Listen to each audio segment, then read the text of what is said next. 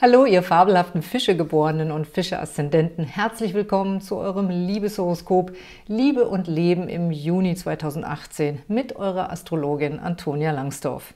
Ihr habt geniale Romantikkonstellationen im Juni, besonders in der ersten Monatshälfte. Genießt die Zeit mit eurem Schatz oder einem neuen Flirt. Und wenn ihr Solo seid, habt ihr entweder Spaß an persönlichen Herzensprojekten oder gute Chancen, jemand Nettes kennenzulernen. In meiner Verlosung gibt es diesmal eine Uranus-Beratung zu gewinnen. Der Rebell und Erfinder unter den Planeten ist ins Zeichen Stier gewechselt und bildet in den kommenden Jahren einen inspirierenden Aspekt für euch. Was das bedeutet, erfahrt ihr auch in meinem Uranus-Special Wind des Wandels. Da gibt es auch wieder eine Sonderaktion mit einer speziellen Uranus-Beratung. Schaut also mal rein. Mit etwas Glück könnt ihr die Beratung auch in der Verlosung gewinnen. Und wie ihr daran teilnehmt, das erfahrt ihr am Ende des Videos, also bleibt dran. Jetzt schauen wir in eure Tendenzen für den Juni. Euren Erlebnishintergrund mit den langfristigen Tendenzen und welche Geburtstagskinder besonders wichtige Aspekte empfangen, diese Informationen findet ihr in meinem ausführlichen Jahreshoroskop. Das gibt es als Video und auch als Buch zum Nachlesen.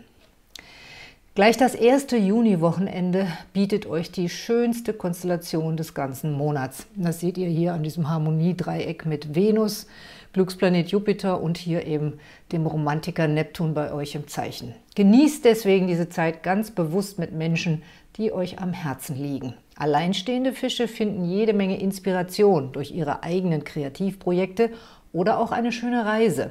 Besonders wenn ihr an einen See oder ans Meer fahrt, habt ihr auch noch gute Chancen, einen Urlaubsflirt anzufangen.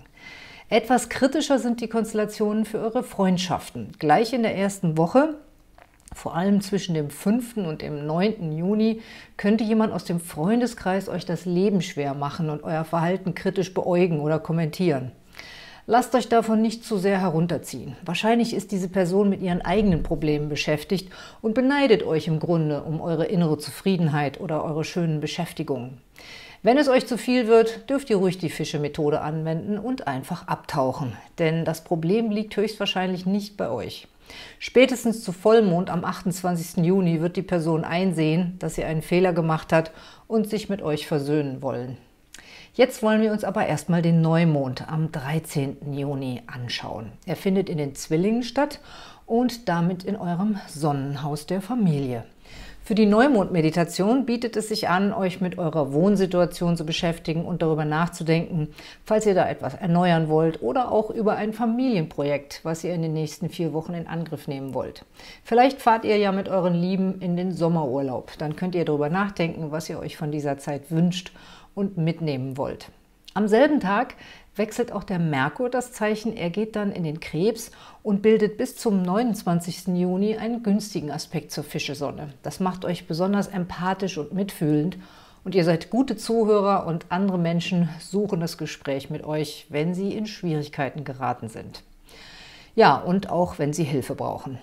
Ebenfalls am Neumond wechselt auch die Venus das Zeichen. Sie geht dann in den Löwen und gesellt sich zum Mondknoten. Das ist eine starke Konstellation, um eine neue Liebe kennenzulernen. Bei euch könnte das im Job passieren.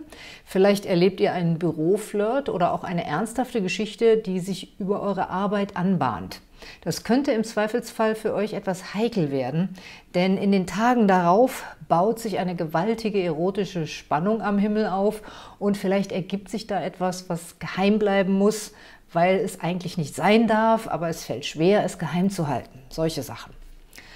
Am 15. und 16. Juni haben wir tolle Partykonstellationen und ihr bekommt bestimmt mehrere Einladungen für das Wochenende. Wenn ihr Solo seid, habt ihr große Flirtchancen. Besonders die Fische der ersten Dekade wirken sehr inspiriert und faszinieren ihre Flirtpartner. Aber das Wochenende birgt auch die Gefahr, in eine ganz plötzliche Affäre mit ungewissem Ausgang hineinzugeraten.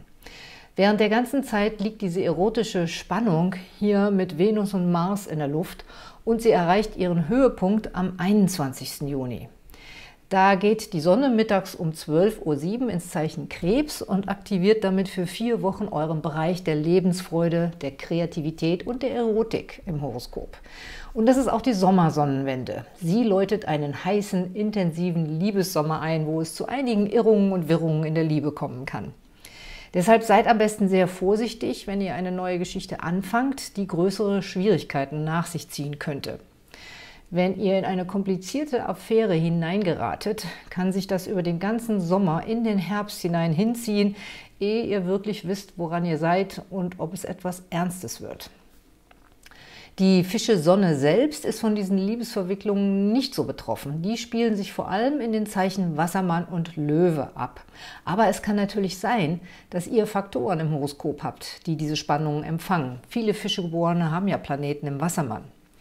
Und weil ihr unter dem Einfluss von Romantikplaneten Neptun steht, besonders die zweite Dekade der Fischegeborenen, seid ihr schon anfällig dafür, eine Romanze anzufangen. Vielleicht auch dann, wenn ihr schon in einer Beziehung seid. Und das macht die Sache dann natürlich sehr kompliziert und heikel. In der Nacht zum 27. Juni wird der Mars rückläufig. Und diese Phase geht dann bis zum 27. August. Das Ganze spielt sich bei euch im 12. Sonnenhaus ab. Da ist also eine gewisse Energie der Geheimhaltung und des Rückzugs angezeigt. Das könnte zum einen bedeuten, dass ihr eine sehr geheime Affäre anfangt, eben wie vorhin gesagt, zum Beispiel mit einem Kollegen, was keiner wissen darf. Oder es kommt überhaupt nicht dazu, dass wirklich etwas passiert und alles spielt sich nur im Inneren ab, in eurer Vorstellung. Oder es ist vielleicht auch eine platonische oder spirituelle Liebe, die gar nicht auf die körperliche Ebene kommt, die euch aber trotzdem sehr stark beschäftigt. Es kann jetzt auch passieren, dass sich jemand aus eurer Vergangenheit oder sogar einem vergangenen Leben bei euch meldet und das bringt euch emotional durcheinander. Der Mars hier im zwölften Haus zeigt auch versteckte Feinde an. Die macht ihr euch vielleicht ganz aus Versehen. Zum Beispiel, weil ihr einen Büroflirt anfangt oder auch weil ein Kollege in euch verliebt ist und ihr erwidert das gar nicht und derjenige ist dann enttäuscht und es wird hinter eurem Rücken getuschelt oder ihr spürt, dass da eine gewisse Feindseligkeit herrscht. Deswegen ist es am besten, ihr haltet euch zurück und bietet erst gar keine äh, Angriffsfläche. Das betrifft, wie gesagt, euer zwölftes Sonnenhaus, also das Fische-Kollektiv. Wo sich die Marsphase genau in eurem Geburtshoroskop abspielt, das müssten wir in einer Beratung klären. Ihr könnt euch auch gerne in meinem Webinar Antonias Sterne anmelden, da können wir das auch nachschauen. Was auch immer passiert, stellt euch einfach darauf ein, dass Liebesangelegenheiten, aber auch berufliche Entwicklungen, die im Juni noch schwungvoll angefangen haben, im Juli und August zum Erliegen kommen. Leute haben keine Lust mehr, überlegen sich anders oder sie ziehen sich vielleicht auch zurück. Im September kommen die Dinge dann wieder ins Rollen und wir sehen alle etwas klarer. Wie gesagt, eure Fischesonne ist davon gar nicht so betroffen und es kann gut sein, dass ihr mit diesen Konstellationen wenig Schwierigkeiten habt und euch eher in der Rolle der Ratgeber und Seelentröster wiederfindet. Das waren eure Konstellationen im Juni. Wenn ihr mehr über euer persönliches Horoskop wissen wollt, zum Beispiel wie sich eine Liebes- oder Finanzsituation entwickelt, dann könnt ihr euch gern für eine Beratung an mich wenden. Alle Infos dazu findet ihr auf der Infokarte hier und in der Videobeschreibung. Mein nächstes Webinar, Antonias Sterne, ist am Freitag, den 29. Juni um 17 Uhr. Da könnt ihr mir eine Frage zu eurem persönlichen Horoskop stellen. Das könnt ihr zum Beispiel nutzen, um zu erfahren, wo der Wind des Wandels mit Uranus jetzt durch euer Leben weht.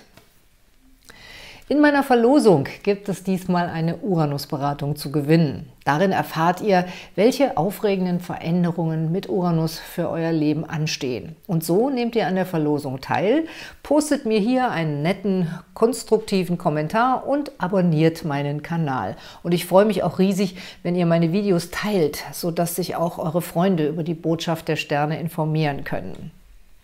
Zum Abonnieren einfach hier klicken, dann seid ihr bei der Verlosung dabei.